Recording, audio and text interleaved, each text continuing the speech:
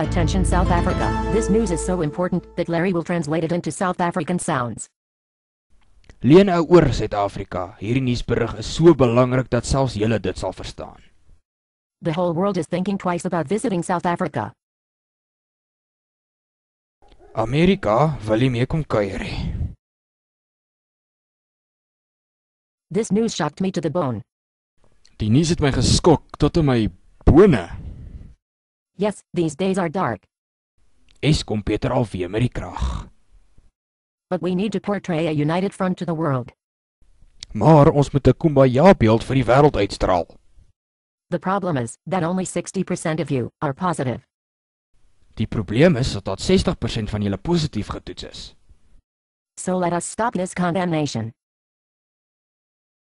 So kom ons stop die kondoomnasie. And let's unite with pride. So blaas daai kurusela, doen nie shuffle soos Mandela, solank jy net lekker sê vleisbraai ou tannies oor die straat help agter jou ore was en roep Kenaku.